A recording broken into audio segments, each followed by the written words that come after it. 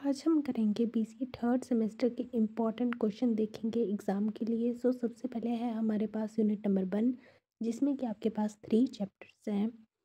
और इनमें से जो तीन चैप्टर हैं, वो है nature and scope of business business environment and form of business organisation तो इसमें आप क्या कर सकते हैं, आपको पता है जैसे कि आपको दो क्वेश्चंस आते हैं दस दस नंबर के और आपको उनमें से एक करना होता है। तो आप इसमें से कर सकते हैं या फिर फ़र्स्ट टू चैप्टर या फिर लास्ट के टू चैप्टर तो आप जो चैप्टर वन में से बिज़नेस क्या है और बाकी जो भी आपको नीचे स्कोप ऑफ़ बिज़नेस दिया है, यहाँ पे पूरा का पूरा आपको पता चाहिए। और नेक्स्ट है हमारे पास सेकंड चैप्टर उसमें जो है, दो ही है कि माइक्रो और मैक्रो इन्वायरमेंट क्या होता है आपको पूरा का पूरा पता चाहिए। और लास्ट आपके पास फॉर्म ऑफ़ बिज़नेस ऑर्गेनाइजेशन इसमें सोल प्रोप्राइटरशिप्स आती हैं और काफ़ी ज़्यादा ये है, वो आपको सारा का सारा पता होना चाहिए नेक्स्ट हमारे पास यूनिट नंबर टू, जिसमें जो है आप या फिर चैप्टर नंबर फाइव सिक्स कर लो या फिर आप फोर और चैप्टर नंबर सिक्स कर लो। इसमें जो है प्रिंसिपल ऑफ़ मैनेजमेंट बहुत ही ज़्यादा इंपॉर्टेंट है और इसमें जो है अगर आपको फिफ्थ में से कोई आ भी जा,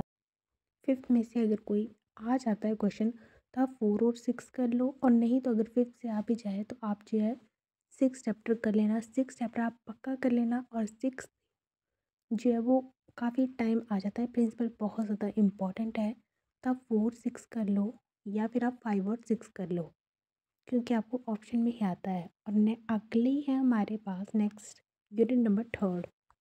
इसमें आपके पास ये कहती है मोटिवेशन की थ्योरीज आती हैं, बहुत ही ज़्यादा इंपॉर्टेंट है वो थ्योरीज। इसमें से आप क्या करना, आप कोई एक चैप्टर छोड़ देना। और आप जो है सेवन एट्थ टेंथ और इलेवन चैप्टर के लेना आप डिसीज़न मेकिंग जो है छोड़ देना। क्योंकि लीडरशिप भी काफ़ी ज़्यादा बार जो है लीडरशिप से क्वेश्चन जो है पूछा जाता है। मोटिवेशन की थ्योरीज बहुत ज़्यादा इंपॉर्टेंट है। मैनेजमेंट बाय ऑब्जेक्टिव यानी एमबीओ से भी काफ़ी ज़्यादा बार जो है वो क्वेश्चन पूछा जाता है। और प्लानिंग तो आप कर ही लोगे। प्लानिंग बहुत ही ज़्यादा सिंपल है। प्लानिंग क्या है? किस तरह से होता है? मीनिंग हर किसी इसका आपको मीनिंग पता होना चाहिए।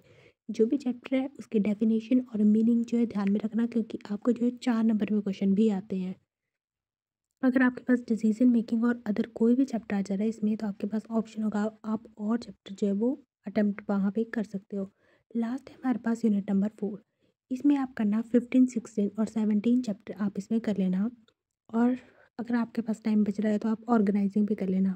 ऑर्गेनाइजिंग आप कर ही लेना, क्योंकि पता नहीं लगता है, कई बार ऑप्शन में ऐसा क्वेश्चन भेज जाता है जो हमें जो है नहीं हमने किया होता है तो फिर थोड़ी दिक्कत आ जाती है। तो इसमें आप फिफ्टीन सिक्सटीन सेवनटीन और ऑर्गेनाइजिंग वाला चैप्टर कर लेना और इसमें आप अथॉरिटी और डेलीगेशन सेंट्रलाइजेशन डिसेंट्रलाइजेशन भी चार नंबर के लिए जो तैयार कर लेना, क्योंकि यहाँ से भी क्वेश्चन आपके पास फोर नंबर में आ सकता है। बाकी मीनिंग और डेफिनेशन आपको हर किसी की कर लेनी है। और इसमें जो है, क्योंकि चार नंबर में पता नहीं लगता है, कुछ भी पूछ सकते हैं वो तो यहाँ पे जो है आप ये वाले चैप्टर कर लेना। कम्युनिकेशन जो है आपको आता ही होगा। पहले भी आपने कम्युनिकेशन के बारे में काफ़ी ज़्यादा पढ़ा हुआ है। फ़र्स्ट सेमेस्टर सेकंड सेमेस्टर में भी आपने कम्युनिकेशन के बारे में पढ़ा है। तो कम्युनिकेशन का कर लेना नेचर और प्रोसेस ऑफ़ कंट्रोल कंट्रोल का आपको पूरा का पूरा चैप्टर करना है। कंट्रोल की टेक्निक्स पूरी करनी है। अगर आप तीन चैप्टर करोगे, चार चैप्टर करोगे तो वो चैप्टर आपको बहुत ही ढंग से करने हैं। ताकि कुछ भी पूछ लिए, आप जो है अटैम्प्ट कर सको। और ऑर्गेनाइजिंग भी पूरा का पूरा करना है।